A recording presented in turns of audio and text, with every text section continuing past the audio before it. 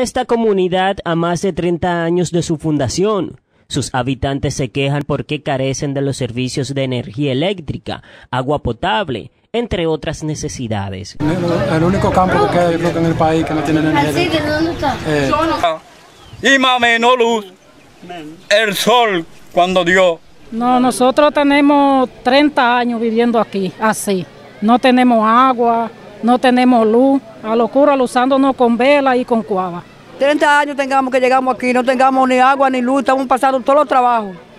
Porque las casitas son malas y no tengamos agua ni que beber ni la luz. Necesitamos que nos ayuden para eso.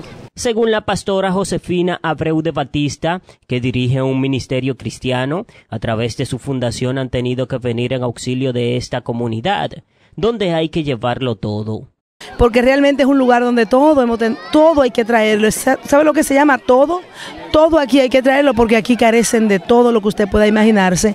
Cuando vinimos estaban llenos de parásitos, desde los adultos hasta los niños, y hoy hay un cambio en la personalidad de ellos. En día, cuando volvimos otro día, vimos la necesidad de zapatos, también los cubrimos de zapatos, les cubrimos de comida, damos escuela bíblica los, los sábados. De su lado, el encargado de la EDESUR en esta provincia de Asua dijo que en los próximos días se estarán haciendo los levantamientos para ver las posibilidades que existen de electrificar esta comunidad.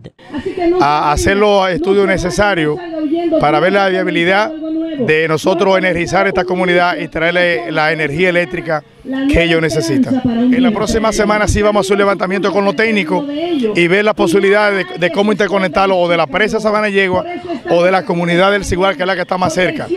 Y a partir de la semana que entra sí podemos tener un número definitivo de cuánto conllevaría eso en términos de gasto.